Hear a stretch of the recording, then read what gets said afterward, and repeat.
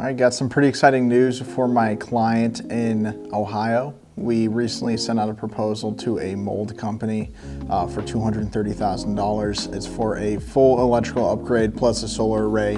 Um, we're looking forward to it. I called the CFO and she said they'd looked at solar before, but she's not the only decision maker, so she got uh, to uh, the COO, CEO, and on the meeting as well.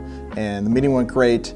Uh, they you know needed a new electrical system pretty much. They had two meters they're running off of. Uh, just needed a full upgrade, so we can do that for them. You know, we're electricians for 20 years, uh, and we recently got into solar about four years ago.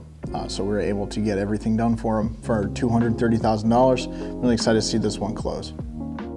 Got some more exciting news for my client in Ohio. Um, as I call this company uh, their vice president actually hung up on me. So I went and called the owner of it, and he was pretty receptive. They've never looked at solar before.